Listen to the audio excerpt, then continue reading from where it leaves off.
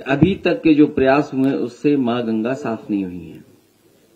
जब तक उसकी सहायक नदियाँ, जुड़ने वाले नाले, उनकी गंदगी नहीं खत्म होगी, तब तक माँ गंगा साफ़ नहीं होगी।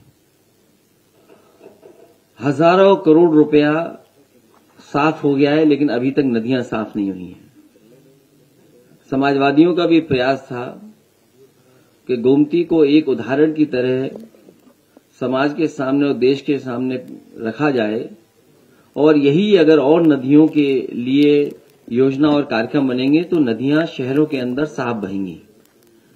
हमारे जितने भी शहर बसे हैं, वो नदियों के किनारे बस गए, और जब बसे थे, तब नाले और कोई सीवेज का ट्रीटमेंट का इंतज़ाम नहीं था, जिसके कारण सीधा सीधा जो कुछ है शहर का गंदा पानी, गंदगी सब नदियों में जा रही है। तो ये प्रयास समाजवादी सरकार में हुआ था। वही रास्ता है नदियों को साफ़ करने का। यहाँ की सुंदरता खत्म कर करके दूसरी सुंदरता दिखाई जा रही है। आखिरकार सरकार को ये बताना चाहिए कि यहाँ की आखिरकार सुंदरता क्यों खत्म कर दी? इसी तरह नाव यहाँ पर चलनी थी। कुछ पहले नाव खरीद ली गई थी। और भी जिसको टूरिस्टों को सुविधा देने के लिए या लोगों को घूमने के लिए यहाँ नाव खरीदी गई थी, वो सब कूड़ा करकट हो चुकी हैं। वो शायद डस्टबिन में फेंक दी गई हैं। या यहाँ से लेकर के कहीं और ले गए हैं वो लोग। मुझे बताया गया, जब मैं संगम में गया, मैं उस नाव में जब बैठा तो मैंने कहा, ये सरकार ने तो बहुत अच्छी नाव खरीद ली है।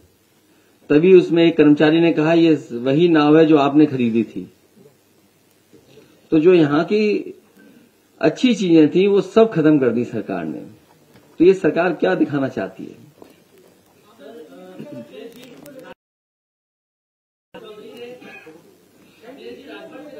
ये आपके लिए मुद्दा हो सकता है, ये हमारे लिए मुद्दा नहीं है।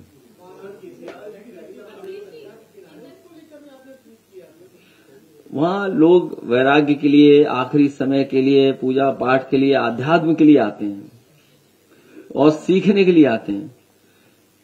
लेकिन ये भारतीय जनता पार्टी टूरिज़्म और पैसा बढ़ाना चाहती है, पैसा कमाने के लिए व्यवस्था बना रही है। आखिरकार वहाँ के जो निषाद समाज के लोग हैं, जो नाव चलाते थे, नावक थे, उनको क्या लाभ मिलने जा रहा है? उनके लिए क्या सुविधाएँ दी गई हैं? क्या बड़े उद्योगपतियों के लिए सुविधा होगी? या बाहर से जो कारोबार करने वाले लोग हैं, उन्हीं के लिए सुविधा होगी? हमारे नाव चलाने वालों के लिए क्या सुविधा होगी? और इसी तरह जब आपके गोमती रिवर फ्रंट में इस तरह की नाव चलने की कोशिश थी तो उसको क्यों खत्म कर दिया गया?